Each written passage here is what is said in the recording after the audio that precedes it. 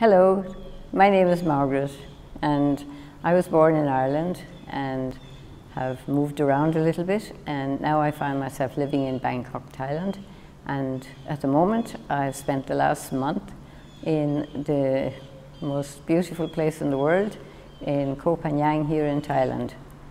And to add further to that, I've just completed a month-long yoga course.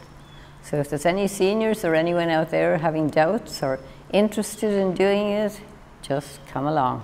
It's just made my day. It's life changing. It's um, an amazing experience.